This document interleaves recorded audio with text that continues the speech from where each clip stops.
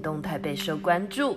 去年传出语言程序大复合，但是最后又是不了了之。台湾星座专家唐奇阳老师大胆直言，志玲姐姐在二零一九年会开始走婚运，二零二零年会结婚。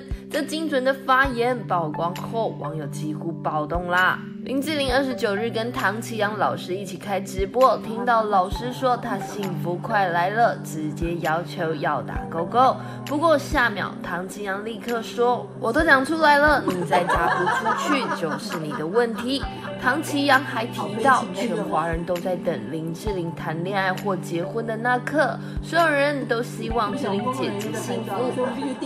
林志玲叫大家回复：“我会努力的。”唐奇阳听到他这样说，立刻要求他别努力，要让那个人来努力。没想到林志玲倒抽一口气，唐奇阳马上用坚定的语气说：“会的，他快出来了，快要找到你了。”唐强还加码表示，十一月到明年三月，射手座会有一个回马枪。